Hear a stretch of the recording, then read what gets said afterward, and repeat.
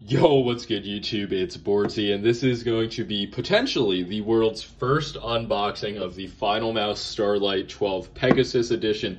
They made 5,000 of these, and the only way to get it is from their pop-up in LA. So I'm recording this from a hotel room, obviously no computer. And yeah, these are honestly sick. I did peel off the sticker beforehand.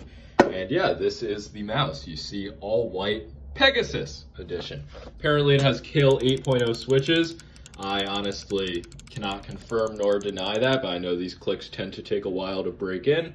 Um, oh shit, what number am I? What number am I? Um, the camera's not going to tell you. 4527 out of 5,000. Let's go. Uh, maybe there's going to be a special card that's like, oh, you came to Final Con. You're awesome, man. You're awesome. Let's see.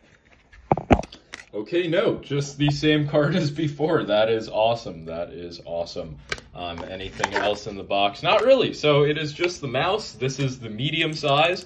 Weighs 49 grams, so it is quite light, obviously. Same weight as the legendaries. I'm actually not going to open up the small for now, and you will see why in the coming days. The first time I tried to record this video, I just tried to do a simple flip like that and actually drop the mouse, so I'll try to put that in. Oh yeah, I have multiple of these mice and I'm just gonna get into the unboxing. Um, I already did peel the stickers off, I couldn't contain myself, and wow, this, oh my god, I'm a retard. Let's see, look at that durability right there. That is the Finalmouse durability that I have come to know and love. The scroll wheel feels better than it did on my legendary mice. But even after that, there's no issues with the build quality, no side flexing, creaking.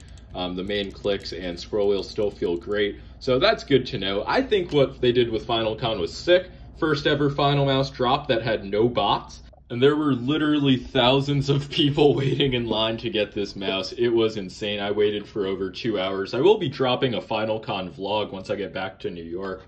Um, but I just wanted to put out this unboxing video because really, um, I could do it from here. This is just a white version of the Starlight 12.